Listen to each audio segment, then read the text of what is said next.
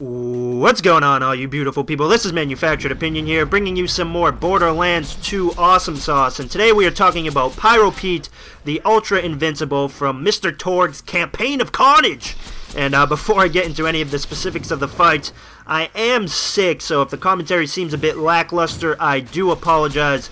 I'm trying to fight off this cold and destroy noobs at the same time. It takes a lot out of me, so I'll try my best to uh, make sure my voice still sounds like the sexiest voice on the internet. Hello, ladies. But uh, anyways, uh, this fight's fairly fun. I fought Pyro Pete twice now. The first time I fought him, I died once, and the second time I fought him, I died four times. I was trying to tinker with stuff and figure out how I can how I can finish the fight faster. Because both times I I fought him, both both times I beat him actually.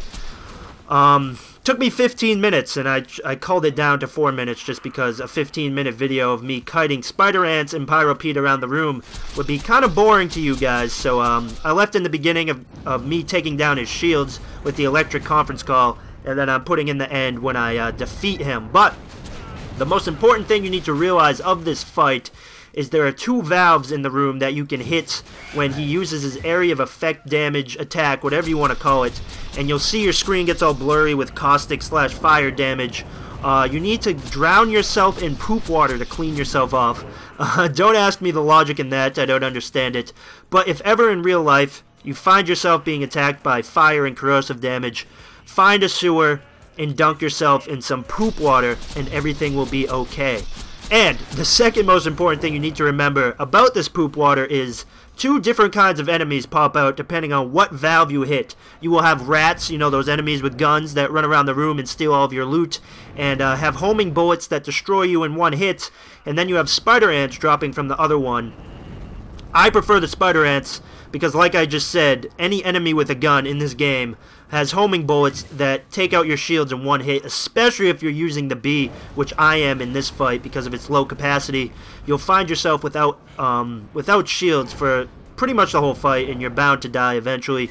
Um, the, another thing you need to realize about these enemies is their level will increase every time you hit the valve, all the way up to level 66. Now, I know that sounds pretty crazy, but if you stick to the spider ants the whole time, it is so easy to kite them around the room, especially with a Gunzerker if you're um, spec heavily in Brawn and Rampage. That increased movement speed from not only Gunzerker, but whenever you take um, whenever you take damage, you'll be able to stay one step ahead of the spider ants all the time. Um, I can't really speak to all the other classes, as I haven't done this fight with the other classes. I don't even have another level 50 class, but that's a topic for a different video, and I guess the last thing I can touch um, touch on here real quick is what equipment I am using. I have the electric conference call for taking out his shields at the beginning, the Bee, which I consider vital for this fight.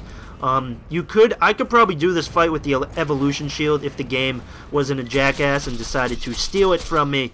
Um, it would just take a lot longer than 15 minutes to do, um, a lot more kiting around the room.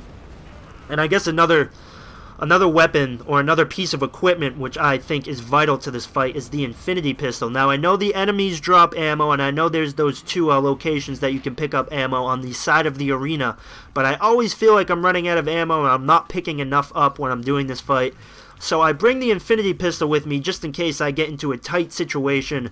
The Baby Maker is also great. If you fire one shot and then throw it into him, it does some pretty damn good damage, especially if you have the Bee shield on. Um, so any type of Tediore um, SMG that you know you can throw for explosive damage is great in this fight. And then I have my trusty Maggie pistol, which will never leave my side ever because she is too sexy. So anyways, Here's me picking up the Seraph Crystals, and I'm actually working, grinding myself up to uh, enough Seraph Crystals to buy all of the new weapons, so I'll, I'll be sure to make a video of that when I have enough. But as most of you know, grinding Seraph Crystals takes a hell of a long time, so um, yeah. Hope you guys enjoyed the video. Hope you're enjoying the DLC. And as always, everybody, I hope you're enjoying life. I'll talk to you later. Bye-bye.